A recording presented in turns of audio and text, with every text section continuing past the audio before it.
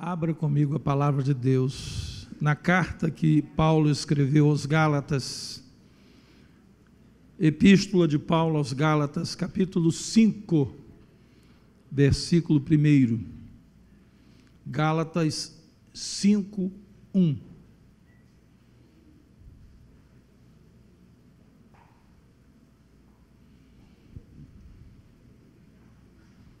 Gálatas 5, 1. Se você encontrou, vamos nos colocar de pé para a leitura inicial da palavra de Deus. Gálatas 5:1 diz: Para a liberdade foi que Cristo nos libertou. Permanecei, pois, firmes e não vos submetais de novo a julgo de escravidão. Agora eu vou pedir que você leia em alta voz comigo. Para a liberdade foi que Cristo nos libertou Permanecei, pois, firmes e não vos submetais de novo a julgo de escravidão. Até aqui. Senhor nosso Deus, nós vamos falar nessa noite, Pai, de um assunto muito importante. Razão pela qual muitos têm perdido a sua alegria, a sua esperança, a sua fé, porque perderam a liberdade. Pai querido, que nessa noite seja uma noite de restauração nessa área que seja uma noite, ó Deus, de cura nesta área. Que seja um momento onde o teu Espírito, pela tua palavra, irá ministrar a cada coração que aqui está, Pai. É o que nós te pedimos em nome de Jesus e o povo de Deus diga amém. Você pode tomar o seu lugar, amado. O grande desafio do povo de Deus, da igreja, do cristão, do homem de Deus, da mulher de Deus, é nós preservarmos a liberdade que Deus tem nos dado. Historicamente, queridos, é fácil a gente perceber que a preservação da liberdade é um trabalho diário. Não é uma coisa que a gente é, recebe quando tem Jesus no coração, encontrou Jesus a, através da palavra, como diz: conhecereis a verdade e a verdade vos libertará. Pronto, assunto acabado. Não é, não é. É uma luta diária.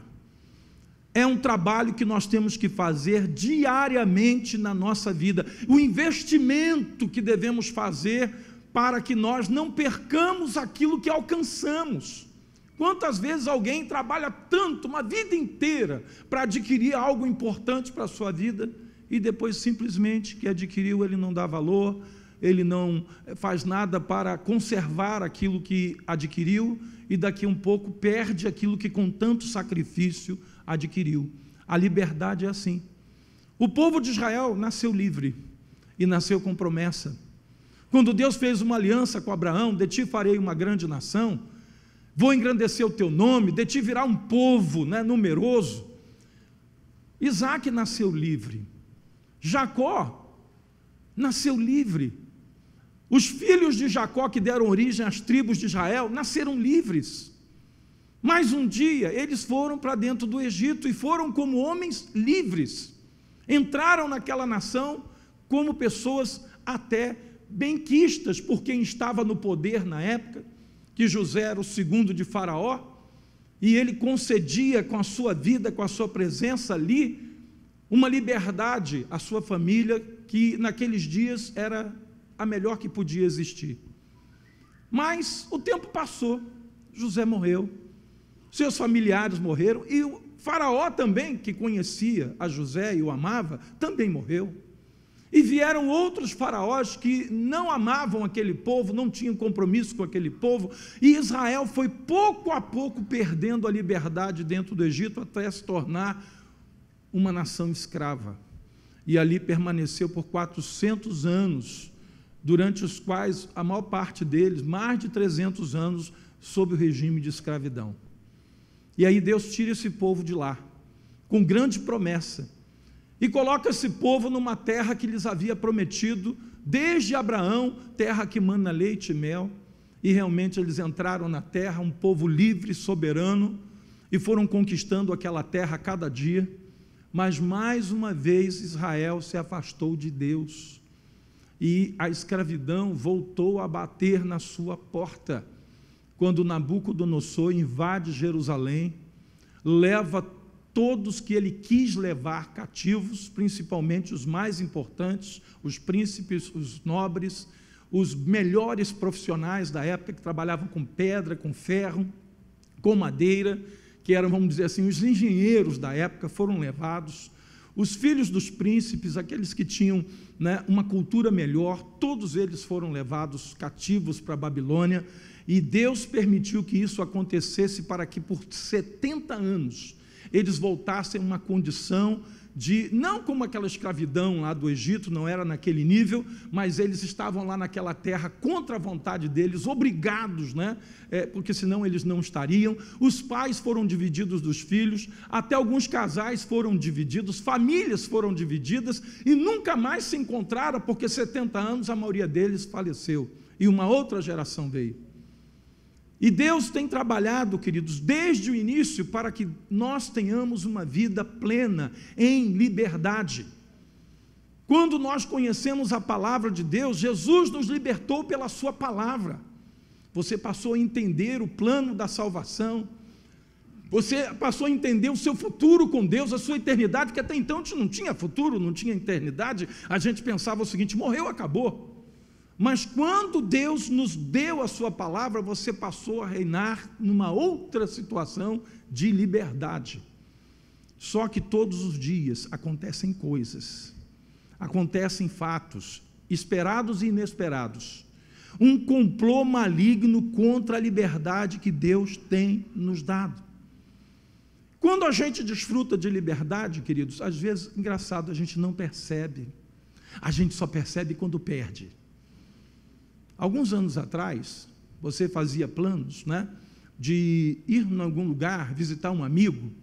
Você entrava no seu carro ou ia de ônibus e você chegava lá qualquer hora, sem problema. Você entrava em qualquer rua, em qualquer bairro e de lá você saía na mais plena tranquilidade. Hoje, quando você vai visitar um amigo, você tem que antes dar uma ligadinha para ele e perguntar como é que está a barra aí.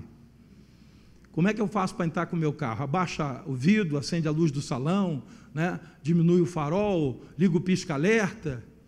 Será que nós pensávamos nisso há 10 anos atrás? Não, irmãos, não pensávamos. Tínhamos plena liberdade de ir, de voltar, de sair e de entrar. Alguns dias atrás, um irmão da nossa igreja disse: Bispo, esse dia das mães vai ser muito complicado para mim. Eu disse: Por quê, meu irmão? Ele disse: Porque pela primeira vez eu não vou poder visitar minha mãe, ela que vai ter que me visitar. Eu, eu não entendi, continuo não entendendo. O que está acontecendo? Não, porque ela mora num bairro em que lá no bairro descobriram que eu sou um agente da área de segurança do Estado. Ele não é PM, é outra área, eu não vou divulgar, não há necessidade. E eles mandaram um recado pela minha mãe, disseram para ela: olha, diga ao seu filho que nós sabemos quem ele é e que ele não é bem-vindo aqui. Que se ele continuar vindo aqui, nós vamos matá-lo. Sentiu o nível de liberdade? Né? Não quero também dizer o bairro, porque, na verdade, né, tem vários bairros hoje aqui em São Gonçalo nessa situação. E ele disse: Eu tive que falar com a minha mãe para que no dia das mães ela dê um pulinho lá em casa. Não posso visitá-la na sua casa. Eu estou trabalhando para tirar minha mãe de lá. Colocá-la num lugar onde eu possa cuidar dela, onde eu possa visitá-la, porque imagina, se ela passa mal numa situação dessa. Então, irmãos, quando a gente vivia naquela liberdade que nós tínhamos antes, nós não imaginávamos que dali pouco tempo nós estaríamos vivendo a situação que estamos vivendo hoje. Há tantos anos, né, que existe a eleição no Brasil, desde a proclamação da República, e a gente sempre é, teve a liberdade de pegar e colar um adesivo no carro, né? Hoje, em alguns lugares, se você botar alguns adesivos, você pode morrer porque a bandidagem da área vai dizer: olha, adesivo de fulano não pode aqui. Olha, perdemos a liberdade de expressão né, de alguma coisa que é livre no país, que é o voto. Né? E, enfim, estamos cada vez mais perdendo, só que a gente não percebe que essas coisas estão acontecendo, a não ser quando elas vêm de uma maneira tal em que você perde toda a sua liberdade. Quantos irmãos hoje vivem uma situação de perda da liberdade com a sua própria família? O ambiente familiar não tem mais liberdade. A esposa não tem liberdade com o marido, o marido não tem liberdade com a esposa, os filhos não têm liberdade com o pai, o pai não tem liberdade com os filhos. Quando a gente está em casa, né? Nós temos liberdade com a nossa família. Tanto é que você fica mais à vontade, quando não tem ninguém de fora, você deita no sofá, né? você estica as pernas, você né? se coloca mais. Mas quando chega uma visita que você não tem liberdade, o que é que você faz? Você senta direitinho, você se apruma, você vai lá dentro, coloca uma roupa melhor. Estava sem, né? os homens, no caso de bermuda, sem camisa e tal, não, com visita, eu vou botar uma camisa. Enfim, é, isso mostra como que você trata as pessoas de acordo com a liberdade que você tem com elas. Quando você vai na casa de alguém, você não vai lá abrindo a geladeira, né, pegando o que quer, não vai. Às vezes a pessoa até diz: olha, pode ficar à vontade, mas não adianta que você não vai ficar à vontade se você não tem liberdade. E por que, que eu estou falando disso, irmãos? Porque a nossa liberdade em Cristo, ela está sendo espreitada em Gálatas capítulo 2, você leu comigo 5, volte aí algumas páginas. Vá a Gálatas capítulo 2, versículo 3 e 4. Gálatas 2, 3 e 4. Contudo, nem mesmo Tito, que estava comigo, sendo grego, foi constrangido a circuncidar-se. E isto por causa dos falsos irmãos que se entremeteram com o fim de espreitar a nossa liberdade que temos em Cristo Jesus e reduzir-nos à escravidão. Por que, que Paulo está dizendo isso? Porque existia entre os cristãos da Galácia, da igreja dos Gálatas, alguns que eram judeus ditos convertidos ao cristianismo, mas eles estavam tentando é, é, é, fazer com que os gálatas não judeus, aqueles que não, não eram do judaísmo, que eram considerados ímpios pelo judaísmo, estavam tentando conduzi-los a um judaísmo cristão. Ou seja, para vocês terem as promessas de Deus na vida de vocês, vocês não basta que vocês tenham Jesus no coração, que vocês sejam batizados nas águas, que vocês sejam nascidos de novo, nem mesmo que vocês sejam batizados no Espírito Santo, é necessário que vocês guardem todas as leis que foram dadas a Moisés. E aí existia um, um movimento né, na igreja da Galácia para judaizar a igreja cristã. Eu quero te anunciar e dizer para você que esse movimento existe até o dia de hoje. Há cristãos que estão sendo judaizados. Enquanto a palavra de Deus disse, como cristãos, nós nos colocamos debaixo da lei, nós somos obrigados a guardar toda a lei. A lei de Moisés trazia preceitos que eram exclusivos ao povo de Israel. E que Paulo julgou não necessário que os gentios convertidos a Cristo tivessem que guardar esses preceitos. Tanto é que ele foi com Barnabé a Jerusalém se teve com Pedro, sentou com os demais apóstolos, conversou sobre o assunto e ficou acordado que os gentios convertidos ao cristianismo não teriam que guardar esses preceitos judaicos. E hoje há igrejas que estão fazendo isso, judaizando a igreja. E, e colocando uma série de é, normas, de regras, de é, proibições que tem a ver com não comer isso, não comer aquilo, não comer aquilo outro enfim, e, e, e trazendo para a igreja um peso que não é aquilo que Deus quer que essa igreja carregue. Há um tempo atrás, nós recebemos aqui na igreja, eu tenho inclusive vontade, vontade de trazê-lo de novo, só que eu, eu esqueci o nome desse pastor, e eu queria é, trazê-lo, eu sei como fazer, vou achar o pastor que me, que me ofereceu para trazê-lo aqui. Um pastor que foi convertido do judaísmo ao cristianismo, e ele estava me explicando todos aqueles preceitos, né? Ele falou: durante a minha vida inteira eu guardei esses preceitos, e eu hoje, disse ele, eu não consigo me desvencilhar de alguns deles. Eu não consigo, por exemplo, eu sair com ele, irmãos, para comer uma pizza ali em Niterói, lá no, no, no Seven Grill, né? Na época tinha um rodízio muito bom lá, muitos anos que eu não vou lá. Mas ele, ele, ele sentou comigo lá, e aí eu reparei que algumas pizzas que eu comia, ele não comia. Aí eu perguntei para ele, amado, eh, por que, que você não. Estou vendo que algumas pizzas chegam e você não come. Ele disse, não, porque são pizzas que têm alguns derivados de porco, né? que vem com presunto, por exemplo, ele não come. Né? Então eu disse para ele, aí eu preocupado né, em, em, não estar ali criando uma situação constrangedora para ele, eu perguntei: então tem algum problema se eu comer? Ele disse: não, o irmão coma à vontade, não me causa nenhum tipo de problema. Eu entendo a sua liberdade, você tem essa liberdade em Cristo, eu é que não tenho. Eu fui criado no judaísmo desde criança, eu fui preparado para ser um rabino. Então tem coisas que o irmão faz na plena liberdade que eu entendo que Jesus te deu, que eu não consigo fazer, irmão. Mas louvado seja Deus pelo entendimento dele, porque ele disse: Eu sou radicalmente contra qualquer situação de judaizar a igreja. O pastor que está fazendo isso, ele é um louco, ele não tem noção do que ele está fazendo, porque acaba que tem que se guardar toda a lei, e a palavra de Deus diz que pela lei ninguém será salvo. Amados, isso é muito importante. Por isso o apóstolo Paulo, ao escrever aos Gálatas, ele falou sobre essa liberdade que nós temos em Cristo Jesus.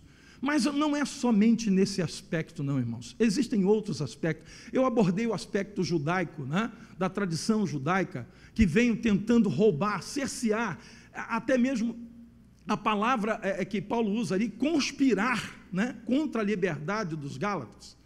Mas não é apenas isso. É que no dia a dia, nós vamos perdendo a liberdade que nós temos com o nosso Deus. Os irmãos estão lembrados do que aconteceu com Adão e Eva.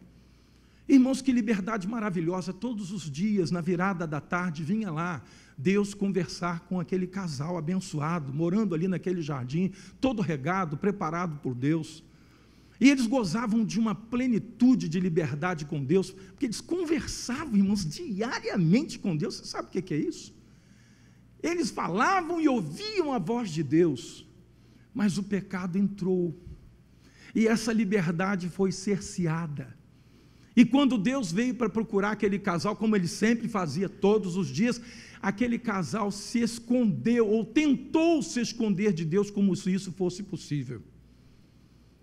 Adão, por que, que você está fazendo isso, Adão? Porque eu, eu fiz algo que eu estou envergonhado. E Adão estava tentando fugir de Deus. Eu não sei se você vive ou viveu ou está vivendo uma situação em que você não tem liberdade mais com algumas pessoas, que você costumava ter. Não sei se por motivo da pessoa ou seu, mas é muito ruim quando você tem que estar na presença de alguém com quem você tinha e hoje não tem mais liberdade. E essa razão pela qual muitos cristãos estão afastados da casa de Deus essa é a razão pela qual muitos cristãos hoje estão na lista dos que chamamos desigrejados. Ou pela perda da liberdade com pessoas que estão na casa e no reino de Deus, com a sua liderança talvez, ou diretamente com Deus por causa do pecado. Amados, o diabo, ele não se dá por vencido quando alguém se converte a Cristo e é liberto da escravidão do pecado e da cegueira né, que o pecado produz na vida das pessoas. Satanás não diga assim, ah, pronto, agora perdi, não tem mais jeito, agora ele é de Deus. Não, não é assim, irmãos. O inimigo continua lutando. E às vezes, ao longo dos anos que vão se passando, o cristão não valoriza a liberdade que tem com Deus e acaba perdendo essa liberdade. Isso aconteceu várias vezes na vida do povo de Israel. E aconteceu em particular com Davi. Davi gozava de uma liberdade com Deus, irmãos, à frente do seu tempo. Davi era um homem que viveu no tempo da lei como se na graça fosse. Davi enxergava Deus de uma maneira muito singular. Mas um dia esse homem foi encaminhado para o pecado de uma maneira muito sorrateira. E sempre é assim, irmãos, a gente não percebe. Você não nota. Mas o inimigo vai montando uma armadilha, uma arapuca muito bem montada. E quando pega aquele cristão que está meio, sabe, é, é, é, adorando a Deus por religiosidade, não mais por verdade. Por isso que a palavra de Deus diz que Deus quer adoradores que o adorem em espírito e em verdade, e não na religiosidade.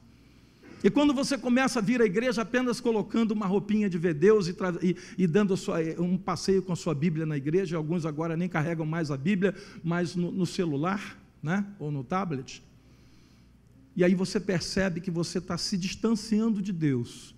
E esse é o ponto que o inimigo entra para roubar, para cercear a liberdade. De repente, alguma coisa acontece. De repente, você se ausenta do lugar onde Deus queria que você estivesse. Eu tenho dito à igreja, amados, ouça o que eu vou dizer nessa noite mais uma vez. Se você não tem uma área da igreja a qual você esteja ali com seus irmãos, trabalhando pela obra de Deus e abençoando vidas, eu vou te pedir encarecidamente, em nome de Jesus, que desesperadamente você não fique desse jeito. Você procure mudar isso. Porque essa posição do crente que vai à igreja apenas para ouvir, ouvir, ouvir, Tiago disse: ouvinte negligente. E Deus quer de nós que sejamos operosos praticantes. Porque os ouvintes negligentes são os primeiros a perderem a liberdade com Deus. Daqui a pouquinho estarão envergonhados de Deus. Daqui a pouquinho vão se envergonhar da família de Deus e talvez entre para o rol daqueles que hoje estão difamando a família de Deus e a casa de Deus. Quando você faz parte de algo, você está envolvido em algo, quando você está aliançado com pessoas, você não sente vergonha dessas pessoas e nem desse lugar. Mas quando você vai perdendo a liberdade, vai se afastando, está perto o momento de você começar a falar contra essas pessoas e, de, e desse lugar. O que eu percebo hoje é que muitos cristãos não estão percebendo que há essa conspiração maligna para que isso aconteça na sua vida. E quando acontece, irmãos, é assim, de repente, uma coisa, um traço, uma linha, uma palavra, uma expressão mal colocada, pode levar uma pessoa a perder a liberdade com Cristo com a casa de Deus, com o povo de Deus, com o reino de Deus, com a obra de Deus, e às vezes com a sua própria família. Existem as filosofias vãs, né? tem muito crente que acha que é, é, é, ele vai garantir a sua liberdade com Cristo através de ordenanças, né? de mandamentos. Eu lembro quando no passado, né? É, é, é, muitas pessoas vinham de igrejas assim doutrinariamente muito rigorosas, né? Tudo era proibido, tudo era pecado. E perguntavam o que, que pode aqui, o que, que não pode. Isso aqui não pode pecar, o restante pode. Mas como que é isso? A lei da liberdade, a lei do amor. Colossenses, se você está em Gálatas, vá algumas páginas à frente, ao livro de Colossenses, capítulo 2, versículo 8. Colossenses 2, 8. Colossenses capítulo 2, versículo 8. Vamos ler até o 15. Cuidado que ninguém venha vos enredar com a sua filosofia e vãs sutilezas. Cuidado com algumas filosofias humanas que estão aí no meio do povo de Deus. Conforme a tradição dos homens, conforme os rudimentos do mundo e não segundo Cristo a mesma situação lá dos judeus. Ah, porque nós, os judeus, há centenas de anos, e daí? Centenas de anos, e daí? O que, que isso importa? A nossa liberdade não está no tempo que a gente tem de relacionamento com Deus, mas em fato de que Jesus é o nosso Senhor. Ele nos garante a liberdade. Porquanto nele, ou seja, em Cristo, habita corporalmente toda a plenitude da divindade também nele estáis aperfeiçoados, ele é o cabeça de todo o principado e potestade. Nele também fostes circuncidados, não por intermédio de mãos, como era costume fazer lá na, na sinagoga dos judeus, onde o sacerdote pegava o menino, nascido ao oitavo dia, e fazia uma circuncisão na pele do prepúcio, que nada mais era que uma operação de fimose no menino. As mãos do sacerdote eram responsáveis por essa circuncisão, mas a nossa não, a nossa é a circuncisão de Cristo, ela acontece no coração, como diz aqui, não por intermédio de mãos, mas pelo despojamento do corpo da carne, que é a circuncisão de Cristo. E isso acontece quando você toma uma decisão de passar pelas águas e nascer de novo nas águas do batismo, sendo tendo sido sepultados juntamente com ele no batismo, no qual igualmente foste ressuscitados mediante a fé no poder de Deus, que o ressuscitou dentre os mortos. E a vós outros que estáveis mortos pelas vossas transgressões e pela incircuncisão da vossa carne, vos deu vida juntamente com ele, perdoando todos os nossos delitos, tendo cancelado o escrito de dívida que era contra nós e que constava de quê? De ordenanças, o qual ele o qual nos era prejudicial, removeu inteiramente encravando-o na cruz e despojando os principados e as potestades, publicamente os expôs ao desprezo, triunfando deles na cruz. Agora, versículo 20, aí do capítulo 2: Se morrestes com Cristo para os rudimentos do mundo, por que, como se vivesseis no mundo, vos sujeitais a ordenanças? Não manuseis isto, não proves aquilo, não toques aquilo outro, segundo os preceitos e doutrinas de homens pois que todas estas coisas com uso se destroem. Tais coisas, com efeito, têm aparência de sabedoria, parece que é um negócio né, bacana, legal, como culto de si mesmo, a falsa humildade e o rigor ascético. Aqui nessa igreja nós somos muito rigorosos.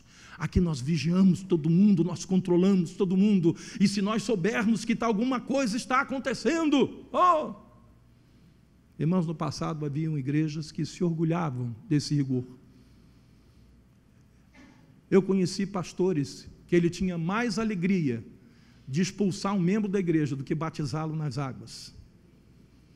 E toda semana, quando tinha lá, uma vez por mês, a reunião né, de doutrina, olha, o irmão fulano está em, em, em, pecado, e aí ele vai ser repreendido e vai ficar é, é, é, debaixo de uma punição, e normalmente o que acontecia é o irmão ficava sem tomar ceia. Eu nunca vi em lugar nenhum da palavra de Deus, examine-se, pois, o pastor ou o líder a cada membro da igreja. É o que está escrito lá? Não. Examine-se o homem a si mesmo. E tornando-se juiz, esse pastor determinava: olha, três santas ceias sem participar quatro Santa Ceia, sete é o número da perfeição. Meu amado, se alguém está vivendo uma situação de delito, ele precisa ser confrontado, sim, numa conversa com a liderança, mas ele precisa ser preservado. E alguém que está numa situação assim precisa de cuidado. E um dos cuidados que alguém precisa quando não está bem é reconhecer, em primeiro lugar, o seu erro, pedir perdão do seu pecado e participar da ceia, porque a ceia é alimento. Você não pode pegar uma pessoa doente no hospital e dizer para ele que ele não vai comer, que você vai acabar de matá-lo. E muitos cristãos foram ficando pelo meio do caminho por causa dessa, desse mal entendido em relação à liberdade que nós temos em Cristo Jesus. E por medo de punição, queridos, ninguém vive com liberdade. A liberdade verdadeira acontece quando você tem uma coisa que Deus não toca nisso e homem nenhum pode tocar, que se chama o livre arbítrio. A própria palavra já diz: livre, livre arbítrio. A decisão que você tem de servir a Deus precisa ser de coração. Você precisa adorar a Deus com liberdade. Você precisa prestar a Deus um culto racional. Acontece que as coisas vão acontecendo, irmãos, e você vai eh, sendo enredado por circunstâncias que vão te cerceando essa liberdade. E quando você dá por si, você perdeu a liberdade com Deus, com seus irmãos, com a obra de Deus, com a casa de Deus, com a sua família, com seus amigos. E você está se tornando uma pessoa presa, impedida, triste, não há como perder a liberdade e não perder outras coisas juntos com essa perda. Quando você perde a liberdade, você perde a alegria, porque você só consegue ser alegre se você é livre. Quando você perde a liberdade e a alegria, você perde a fé. E quando você perde a fé, a palavra de Deus diz que você perde a esperança. Você imagina? Sem liberdade, sem alegria, sem fé e sem esperança, sem paz neste mundo, como diz a palavra de Deus. Tem muita gente vivendo assim. Por isso Jesus disse: Eu vos deixo a minha paz. Eu não, não vou dar para vocês a minha paz como o mundo dá a paz. A paz do mundo, ela é muito efêmera, muito passageira, muito dependente das circunstâncias. A minha paz não. A minha paz vai estar dentro de vocês. E mesmo que você esteja no meio de uma guerra, você vai ter paz dentro do seu coração. Essa é a paz de Cristo. A paz de Cristo que excede a todo entendimento, que guarda o nosso coração e a nossa mente. O seu coração, os seus sentimentos, a sua mente, os seus pensamentos são guardados por essa paz. E essa é, paz é fruto de uma liberdade que você goza com o teu Deus. Você é livre. Irmãos, como alguns cristãos têm perdido essa liberdade. E por isso, todos os dias, queridos, nós precisamos arguir o nosso coração, fazer aquilo que Davi fez. Irmãos, Davi aprendeu da, da pior maneira possível. Ele aprendeu no sofrimento, ele aprendeu na prática e aprendeu na dor. Porque Davi gozava de uma liberdade com Deus assim incrível. No meio de uma perseguição, quando Saul tentava matá-lo, e ia de cidade em cidade, chegou a assassinar alguns sacerdotes, porque ele achou que os sacerdotes estavam ajudando a esconder Davi. Olha a ira desse homem. Mas Davi, no meio dessa perseguição, ele compôs o salmo e disse: Em paz eu me deito, e logo pego no sono. Meu Deus, será que alguém perseguido por um rei que tenta matá-lo o tempo todo teria condição de dormir? Ele disse: Em paz eu me deito, e logo pego no sono, porque só o Senhor me faz repousar seguro. Você sabe o que era isso, querido? Liberdade que Davi tinha com Deus. Mas um belo dia, quando Saul já tinha saído do cenário, já não era nem mais vivo. Quando Davi estava lá, reinando em Israel, com o povo gostando dele. Se teve um rei que teve aprovação do povo de Israel, esse rei foi Davi. Ele é celebrado até hoje em Jerusalém, o grande rei Davi. No entanto, Davi, quando tinha tudo ao seu favor, ele pecou. Ele foi se deitar com uma mulher que não era dele, de um dos seus oficiais mais fiéis. E ele adulterou com essa mulher, e dali começou um período difícil na vida de Davi. Ele perdeu a alegria, ele perdeu a paz, ele perdeu a liberdade, ele já não entrava mais na casa de Deus, ele não tinha condição de estar ali. Até que Davi, caindo em si, ele disse: Eu não posso continuar desse jeito. Eu estou morrendo, os meus ossos estão envelhecendo dentro de mim, eu estou sentindo dores nos meus ossos. Até que um dia, confrontado pelo profeta, ele se deixou tratar por Deus, se quebrantou, pediu perdão, se reconciliou com o Senhor, e ali começa de novo Davi a conquistar a liberdade, a reconquistar a liberdade que o Senhor lhe havia dado. Há muitos hoje cristãos que estão precisando reconquistar a liberdade que perderam. Reconquistar a sua liberdade com Deus, reconquistar a sua liberdade com o seu cônjuge, esposo, esposa, com a sua família, com seus filhos.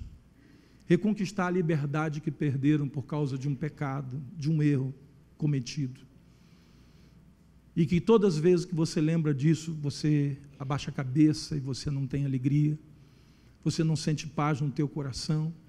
Amados, o que aconteceu com Davi pode acontecer com qualquer um de nós.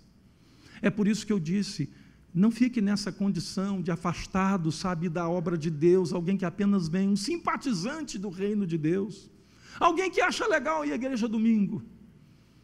Não fique nessa condição. Aproxime-se de Deus.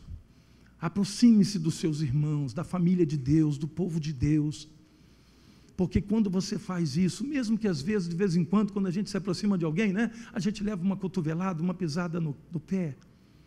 Quando você está num lugar com muita gente, você está sujeito a essas coisas, né? É um, uma esbarrada, uma pisada. Mas é melhor estar assim do que afastado, numa condição de perder a sua liberdade em Cristo Jesus. Se alguma coisa aconteceu no passado, se alguma coisa empurrou você para essa situação, é tempo de hoje você perguntar para Deus aquilo que Davi perguntou para o Senhor no Salmo 139, porque nessa altura Davi já tinha passado por toda aquela experiência dolorosa, amarga, que ele perdeu a condição de comunhão com Deus e começou a se começou a definhar. Davi havia, havia sido restaurado, aí Davi tomou uma decisão. Eu não quero voltar mais nessa situação. Eu não quero mais ficar desse jeito. Então Davi se tornou aquele cara que perguntava para Deus todo dia: Senhor, vê se há em mim algum caminho mau e guia-me pelo caminho eterno. Em outras palavras, eu não posso perder essa liberdade que eu tenho contigo. Eu não posso nunca mais sair do esconderijo do Altíssimo, porque é lá que eu descanso à sombra do onipotente Deus. Irmãos, na situação que a gente vive hoje no Brasil, na degradação moral, espiritual, social, ética, que a gente está vendo, quando as pessoas estão perdendo a liberdade de andar nas ruas, por causa dessa degradação, a última coisa que você pode pensar em perder é a sua liberdade com Deus. Porque se você perder isso aí, perdeu tudo. Aí é como disse a você: a fé, a esperança, a alegria, a paz, vai junto, vai junto com a perda dessa liberdade. E talvez hajam irmãos aqui nessa noite que estão no processo de perda. Estão no momento onde você precisa tomar uma decisão de voltar atrás, de rever seus conceitos e valores, como diz o hino que a gente canta antigo, né? Quero rever meus conceitos e valores, eu quero reconstruir volver às primeiras coisas. É por isso que esse ano nós estamos querendo voltar ao primeiro amor. E eu digo a você, é necessário que a gente volte, porque esse primeiro amor que a gente tem que viver todos os dias, aquilo é um investimento que a gente faz todos os dias para garantir a nossa paz, a nossa liberdade em Cristo. Alguns dias atrás, através de movimentos que aconteceram nos Estados Unidos, derivados de alguns fatos que acontecem lá, e qualquer, acontecem em qualquer país do mundo. Quando um louco pega uma arma, né? E entra num lugar onde todo mundo está desarmado. Engraçado, lá nos, nos Estados Unidos eles só escolhem os lugares onde todo mundo está desarmado, que são as escolas, as universidades, as igrejas. E quando um louco matou um monte de gente lá num cinema nos Estados Unidos, ele saiu da casa dele, passou na frente de vários cinemas e foi num cinema muito longe, porque lá naquele cinema é terminantemente proibido entrar armado. E nos outros não, os outros entra armado. Então ele sabia que nos outros alguém podia alvejá-lo. E aí vem aquela polêmica né, nos Estados Unidos: não, precisamos acabar com as armas, precisamos terminar as armas, ninguém pode ter arma, irmãos. Não é isso que vai resolver esse problema. Porque as pessoas que fazem essas coisas vão continuar fazendo, porque eles não dependem de legalização para andar armado. Eles vão continuar andando armado. E na certeza de que do outro lado há uma população indefesa que não pode fazer qualquer coisa. Mas por que eu estou falando isso? Eu estou falando isso, queridos, porque o crente ele precisa andar atento. Nós temos as armas de Deus, que são poderosas em Deus, para nos proteger contra essa situação maligna de cercear, de roubar, de espreitar a nossa liberdade em Cristo Jesus. E talvez você esteja com essas armas lá jogadas num canto. Não estou falando de arma física, eu estou falando das armas espirituais que Deus nos dá. A leitura bíblica, a oração, o coração quebrantado, cheio do Espírito Santo de Deus.